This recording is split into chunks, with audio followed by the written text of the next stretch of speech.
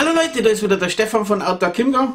Ich habe euch vor kurzem ja das Video vorgestellt, 10 Tage Blackout, was passiert da. Und ihr habt gesehen, es ist eigentlich ziemlich dramatisch, was da passiert.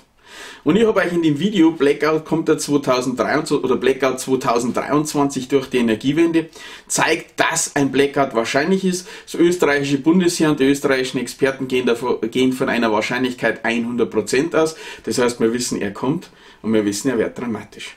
Also haben wir jetzt aber noch die Gelegenheit, uns darauf sinnvoll vorzubereiten. Denn, wie ich es in dem Video ähm, äh, mentale Vorbereitung auf eine Krise gesagt habe, der Vater, dessen Kinder dann am Verdursten sind, am Verhungern oder am Erfrieren, der wird Panik bekommen.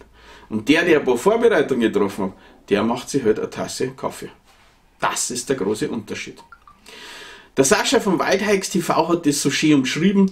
Die Leute verlassen sich halt mittlerweile zu 100% auf den Nanny-Staat. Was aber, wenn dieser Nanny-Staat nicht mehr funktioniert? Zum Beispiel bei einem Blackout. Wenn ihr die Verantwortung für euch und eure Familie und alle Angehörigen selber übernehmen müsst, was ist dann? Seid ihr vorbereitet? Und ich werde euch jetzt anhand des Videos Blackout 10 Tage zeigen, wie einfach das manche Vorbereitungen gehen und wie ihr euch richtig vorbereiten könnt. Und wenn dich das Thema interessiert, bleib einfach dran.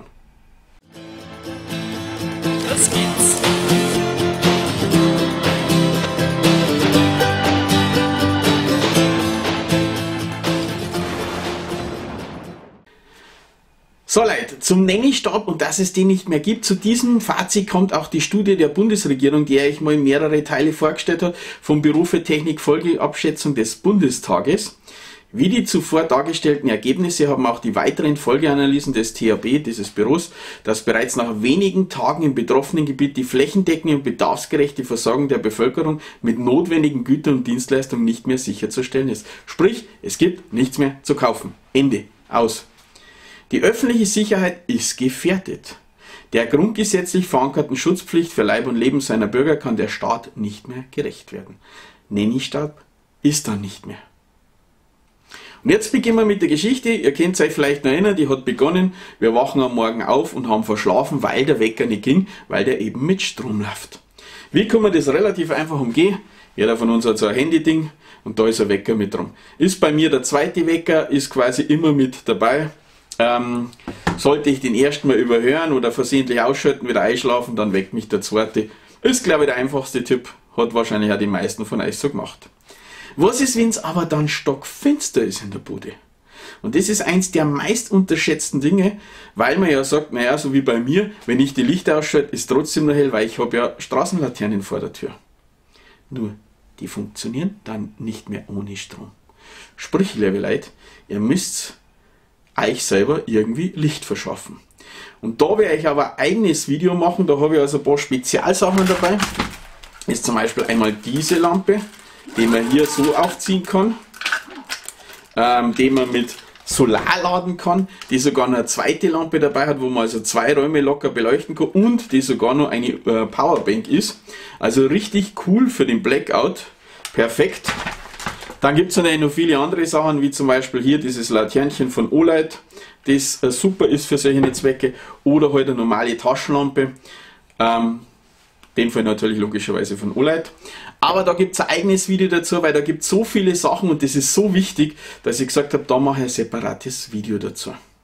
Was natürlich zum Licht auch dazu gehört, ist auch Licht, ohne dass man gesehen wird. Zum Beispiel wie hier mit so einem Nachtsichtgerät, die gibt es relativ günstig, das werde ich testen. Und ich bin gerade an einem Deal dran, dass ich immer ein sehr günstiges Infrarot, also Wärmesbildgerät, Bildkamera kriege und eben auch noch ein bisschen besseres. Und dann werde ich euch das auch natürlich mit vorstellen, weil das ist natürlich super, da kann ich nämlich die anderen sehen, aber die mich nicht. Und das kann in einer Krise richtig wertvoll sein. Wenn ich schon sehe, wenn lang vorher einer schon in der Straße daherkommt und der sieht aber mich nicht, weil ich keinen Taschenlampenschein nicht habe, kann mein Leben retten. Gut, jetzt haben wir ja gesagt, als nächstes wollt ihr einen Arbeitgeber rufen, weil ihr habt ja verschlafen, nur euer Telefon funktioniert nicht. Warum? Die Fritzbox braucht Strom und ohne Strom geht die nicht. Und hierfür ist es natürlich super, wenn ich eine Powerbank habe in irgendeiner Art und Weise mit 230 Volt Ob das jetzt zum Beispiel, wie ich die vorgestellt habe, die Powerbank von PowerOak, die EB150 mit 1500 Wattstunden oder auch den kleinen Bruder dazu, die AC50S, den ich euch hoffentlich bald vorstellen kann.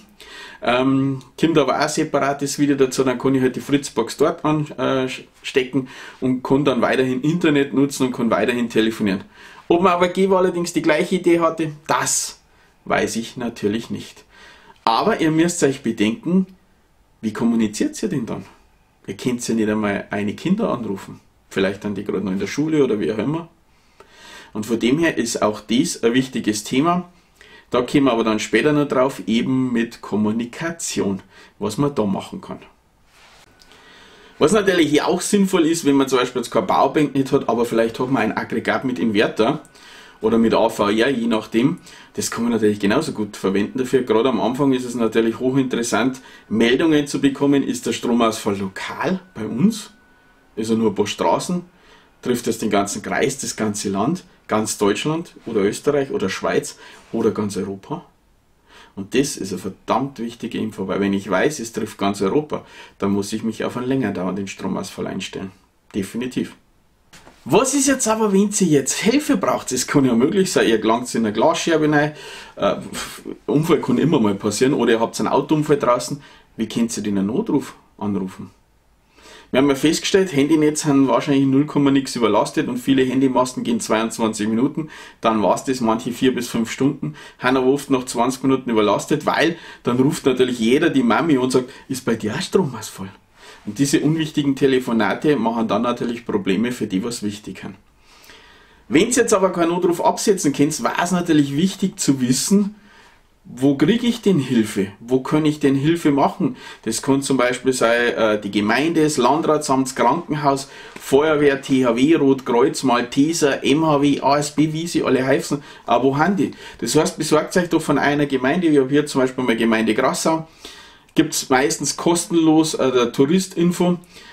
Einfach mal so einen Plan und zeichnet mal die wichtigsten Sachen ein. Oder er geht an die Gemeinde ran und fragt, ob die nicht einmal so einen Ratgeber-Blackout machen, wie hier diese Gemeinden zum Beispiel. Und bei diesen Gemeinden ist es dann quasi so, er setzt es hier in der Mitte, hier haben er einfach eingezeichnet, so wie Feuerwehrhaus, Bauhof, wo dann alle möglichen Sachen, wo Eisstockhalle, wo dann quasi so Punkte an, wo ich Notruf absetzen kann, wo quasi jemand da ist, der einen BOS-Funk in der Hand hat und eben dort die anderen Hilfsorganisationen rufen kann. Also wichtiger Punkt sollte man jetzt vorab machen, kostet auch nichts, aber wenn man es erst dann versucht, wenn es soweit ist, Internet habt dann kann es. Das heißt, ihr könnt es dann nicht mehr nachschauen. Wo haben die Sachen? Also hier würde ich definitiv einfach mal nachschauen. Ich bin ja gerade dabei, der ist jetzt ziemlich fertig, mein Vortrag, Blackout für Gemeinden, für Landratsämter etc weil ihr könnt euch noch so gut vorsorgen, wenn nach zwei Tagen kein Wasser mehr da ist und der Nachbar Durst hat, dann kommt er zu euch. Wenn er Hunger hat, dann kommt er zu euch. Also wäre es ja sinnvoll, wenn man die Gemeinden mit einbindet, dass die zum Beispiel die Wasserversorgung nicht nur 24 Stunden aufrechterhalten, sondern länger.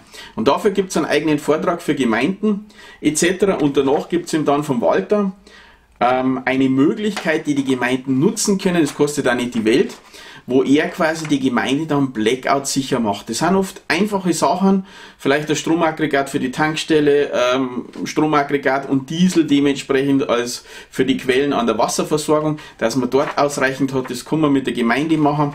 Und wie gesagt, dafür gibt es einen Vortrag, da kommt aber bald ein eigenes Video. Wer also dann seine Gemeinde dementsprechend darauf hinweisen will, dem stehe ich dann zur Verfügung, mich kann man dann buchen und am Walter eben dann auch. So, wie könnt ihr denn jetzt auch selber jetzt eine Kommunikation aufrechterhalten, zum Beispiel mit ein paar Bekannte mit Spätzeln?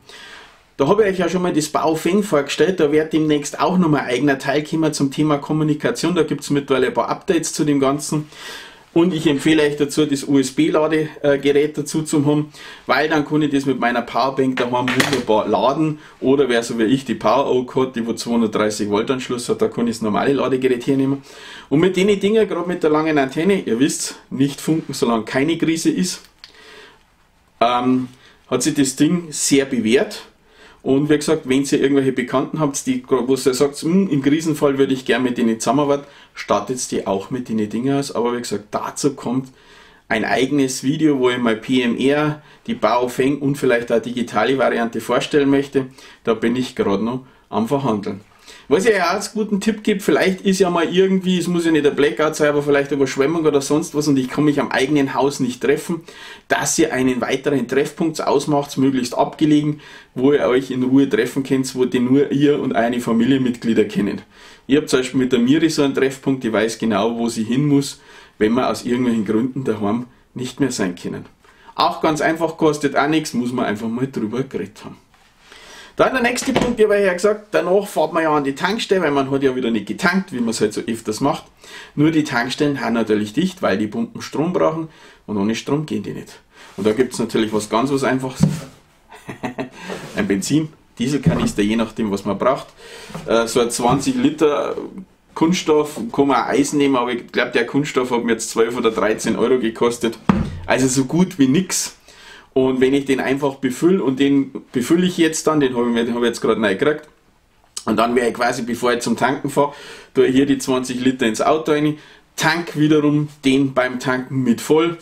Und so habe ich immer 20 Liter, die wo immer gut haben, weil ihr wisst ja, normales Diesel mit dem Bioanteil halt, das hält halt vielleicht noch drei, maximal sechs Monate und dann war's das. Oder ihr holt euch den B0 Diesel an der Tankstelle, wo es den gibt, der hält bis zu zwei Jahre. Und Benzin ebenso.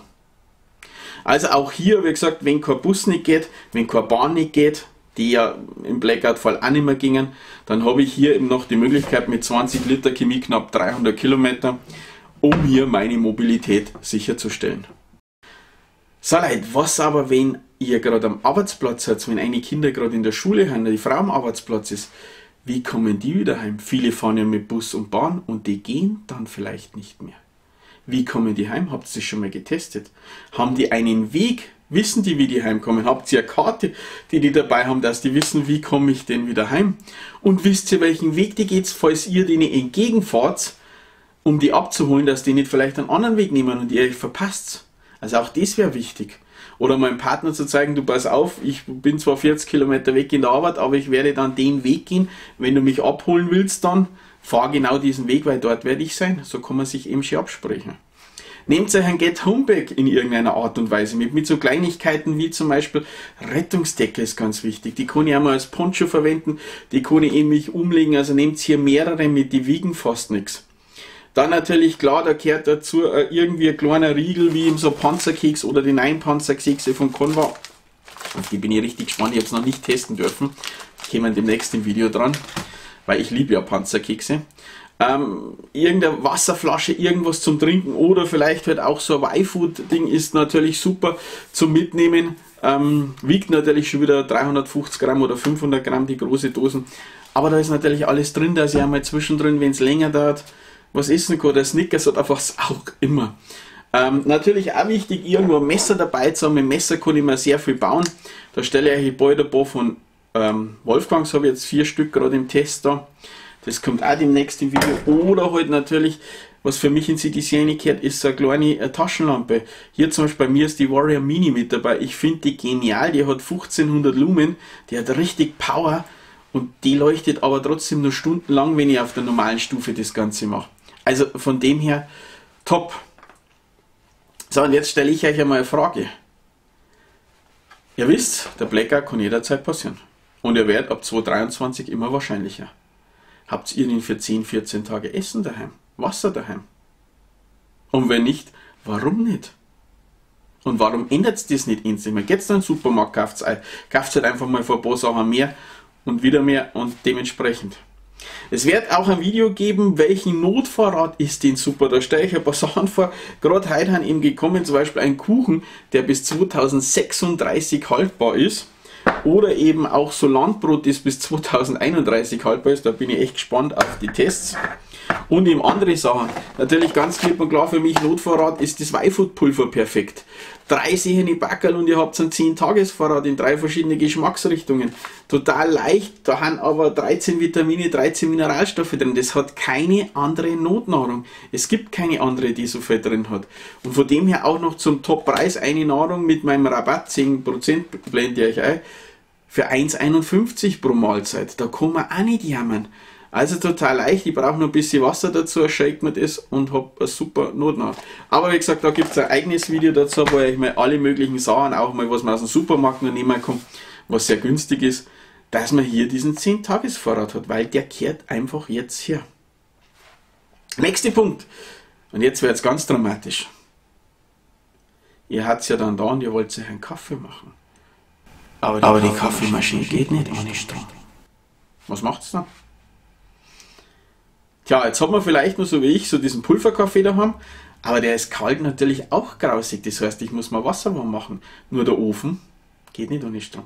Das heißt, nehmt euch doch irgendwo einen Gaskocher, ob das jetzt, ich tue euch mal verschiedene, ich habe einen von Highlander, ich habe einen von, ach, was können wir wieder heißt, ebenso mit Platten, die haben perfekt dafür. Ich tue euch ein paar Beispiele in meinen Amazon-Shop mit ein, schaut's da einfach mal mit rein.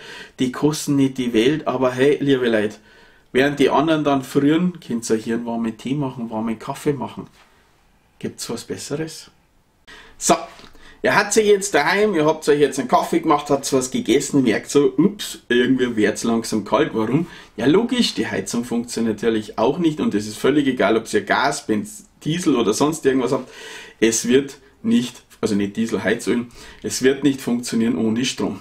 Das heißt, ich muss mir dann irgendwie einen Notstrom haben. Auch dazu wird es ein komplett eigenes Video geben, weil es da auch so viele Möglichkeiten gibt. Da habe ich dann eben die Möglichkeit, eigentlich mal so einen Teelichtofen zum Testen mal zu zeigen. Oder eben, die habe ich euch auch schon mal vorgestellt, äh, diese Gasheizung zum Beispiel, die sehr gut funktioniert. Dazu brauche ich natürlich immer einen äh, Kohlenmonoxid-Warner dazu. Oder andere Sachen noch, da wird es noch ein paar Sachen geben, das ist auch ein eigenes Video, weil das ist für mich eins der wichtigsten Punkte, wenn es nämlich einfach mal mehrere Tage kein Strom geht und es ist Winter, dann wird es in der Wohnung arschkalt. Und wer sich dann erkältet und vielleicht auf einen Doktor angewiesen ist, der dann leider nicht mehr da ist, der hat ein richtiges Problem. Und deswegen müssen wir dem tatsächlich einiges an Aufmerksamkeit schenken. So, jetzt geht es aber da und ihr wollt natürlich wissen, wie geht es denn weiter? Wie gesagt, ist das jetzt ein kleiner Stromausfall, ist es ein großer, wie auch immer. Und wie kriege ich da Informationen? Naja, zum einen gibt es eben die Möglichkeit, Fernsehen zu schauen. Der Fernseher braucht aber Strom. Wer jetzt die Möglichkeit hat, eine Satellitenschüssel sein eigen zu nehmen, der kann mit so einer Powerbank, mit so einer großen, auch den Fernseher, den Satellitenreceiver und auch die Satelliten, Satellitenschüssel betreiben. Es gibt es aber im Camping-Variante, das ist dann so eine kleine Schüssel und ähm, so ein kleiner Receiver, ich tue euch mal unten rein, ich habe den noch nicht getestet, das steht bei mir als nächstes auf der Wunschliste, das werde ich dann auch mal vorstellen, wie das funktioniert, aber ich habe so in die Rezessionen gelesen, dass das sehr gut funktioniert. Und wenn ich dann die Powerbank habe, wie die PowerOak, dann habe ich halt auch weiterhin Nachrichten, weil die Deutschen senden vielleicht nimmer, die Österreichischen vielleicht auch nimmer, aber vielleicht die Amerikanischen. Und die werden garantiert sehr viel dann über einen europäischen Blackout berichten. Und so bin ich halt immer wesentlich besser informiert. Gibt natürlich auch noch die einfachere Methode, der klassische Radio. Aber denkst du, ihr braucht Batterien dafür oder ihr habt eben sowas, wo hinten so eine Kurbel dran ist, dass ich eben kurbeln kann, das ganze Ding. Genau. Vielleicht braucht man auch einen Sender, aber ansonsten. also so ein Kurbelradio ist da zum Beispiel optimal. Das kann ich sogar hernehmen als kleine Powerbank, aber macht euch da bitte nicht zu viel Gedanken, selbst wenn ich da eine halbe Stunde lang kurbel und das ist echt anstrengend mit der Zeit. Oder auch dieses kleine Solarpanel, was drum ist, das ist eher mehr, um den mit Strom zu versorgen. Da kann ich vielleicht mal im Notfall mein Handy so, dass ich vielleicht nur kurz was schauen kann, aber das funktioniert mit dem Kurbelradio nicht so gut. Was auch eine super Möglichkeit ist, haben wir vorher schon geredet, wenn ich dieses Baofeng mein eigen nenne, dann kann dieses Baofeng natürlich auch Radio empfangen. Dann kann ich sogar noch Party machen in der Krise. Also wichtig für mich, dafür nehme ich eigentlich jetzt hauptsächlich her, wenn ich irgendwo draußen bin, her oft mal Radio. Und kann im Notfall sogar noch irgendwem anrufen, wenn irgendwas wäre. Was ist der nächste Punkt? Es gibt natürlich auch noch das Autoradio draußen, aber da muss ich halt jedes Mal alle halbe Stunde rausrennen und hören, was ist los, weil man muss wissen, die staatlichen Sender, die haben Notstromaggregate für bis zu sieben Tage, soweit ich das weiß. Das heißt, da kann es durchaus sein, dass die nur einige Tage senden, dass ich zumindest Informationen kriege. Was ist es denn? Ist es, wie gesagt, nur ein kleiner Lokaler oder muss ich mich auf was Längeres einstellen? Und diese Informationen zu haben oder nicht zu haben, kann den Unterschied machen zwischen Leben und Tod in einer Krise. Also Informationen sind extrem wichtig. Eine weitere Möglichkeit ist natürlich, wenn Sie einen Amateurfunker kennt, stellt euch gut mit dem, weil der hat wahrscheinlich noch viel mehr Infos durch die anderen Amateurfunker, sodass er eben sagen kann, dort ist das, dort ist das, dort ist das. Ihr könnt aber auch selbst den Amateurfunkschein machen. Dann dürft ihr sogar so ein Baofeng legal benutzen. Das ist gar nicht so dramatisch. Ihr kennt es mir unter DARC, das ist äh, DARC, das ist quasi der Amateurfunk. Ähm, Verband bei uns in Deutschland. Und die machen sogar, da kannst du das ganzen Kurs online machen, bis auf die Prüfung, glaube ich, die musst du dann offline machen in deinem Ding vor Ort, ist aber natürlich super, dann lernst du mal die anderen Amateurfunker kennen. Es gibt noch eine coole Methode, das ist über Satelliten, weil die werden ja einige Wochen mit Sicherheit weiterlaufen noch. So Satellitentelefon, da bin ich gerade mit dem Hersteller in Kontakt. Ich weiß nicht, wie es ausschaut, ob er jetzt doch eins rausrückt oder leider nicht. Und da gibt es nämlich mittlerweile so einfache Satzsysteme, ich tue euch mal unten rein, ihr könnt es euch dann selber anschauen. Also alle Artikel, was ich euch vorstelle, haben bei mir, ich habe die jetzt einfach mal, weil es zu viel sind, im Amazon-Shop zusammengefasst als Blackout-Krisenvorsorge. Da ist es dann auch mit drin und damit kann ich zwar nicht telefonieren, aber ich kann mir äh, Nachrichten schicken und ich kann meinen GPS-Standort weiterleiten an jemand anders. Ist auch super, wenn ich in die Berg drin bin und ich habe ein Problem, dann drücke ich die SOS-Tasten und dann kommt Hilfe. Also auch außerhalb der Krise kann ja mal was passieren oder ich bin im Wald unterwegs oder sonstiges. Und ich kann dort meinen Standort wegschicken, sodass jemand, der mich sucht, immer meinen Standort hat, kann ich, was weiß ich, alle 60 Minuten, alle 15 Minuten hochschicken. Ist also eigentlich ein cooles Teilchen. Wie gesagt, ich hoffe, ich krieg's. Ich weiß es aber noch nicht. So, wir haben immer noch bei 0 bis 5 Stunden die einfachen Sachen, die man auch ohne überlebt, aber die Sachen, die wir jetzt gesagt haben, die brauche ich auch, wenn es dann weitergeht. Aber dazu mehr in Teil 2, deswegen unbedingt abonnieren. Es gibt ja noch einige Teile. Einmal eben den Licht als eigenen, einmal kommt Wasser als eigener Teil, einmal eben Notnahrung als eigener Teil und natürlich geht es noch weiter. Wir haben ja gerade mal die Phase 1 bis jetzt gehabt. So, wenn ihr Fragen habt, ab in die Kommentare, wenn es euch gefallen hat, natürlich liken. Ansonsten sage ich vielen Dank fürs Zuschauen, bis zum nächsten Video, euer Stefan von Autark Servus.